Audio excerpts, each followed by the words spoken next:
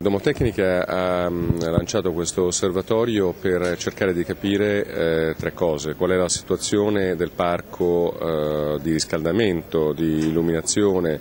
eh, e di eh, diciamo, domotico eh, delle famiglie italiane e come e dove poter intervenire per efficientare eh, i sistemi. Eh, abbiamo scoperto che la maggior parte dei sistemi di riscaldamento sono ancora obsoleti,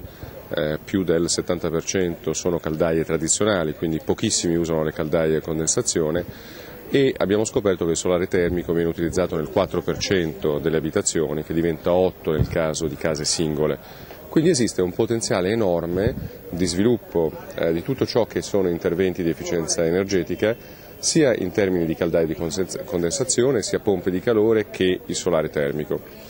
Abbiamo anche visto che la famiglia e la piccola e media impresa, ma in particolare la famiglia, ha una predisposizione o una disponibilità a eh, ricevere una proposta per efficientare la propria casa molto più ampia di quella che eh, ci aspettavamo.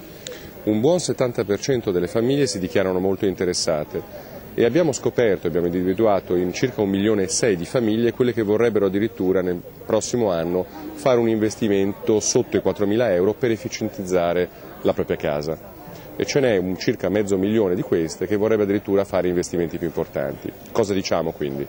Diciamo che esiste un mercato potenziale enorme, c'è una disponibilità da parte della famiglia che sta crescendo e la cosa bella e la cosa interessante, e ovviamente ci rende fieri noi di Domotecnica, è che la famiglia vede nell'installatore, nell'artigiano prossimo, eh, vicino di casa eh, e ben organizzato l'interlocutore principale. Quindi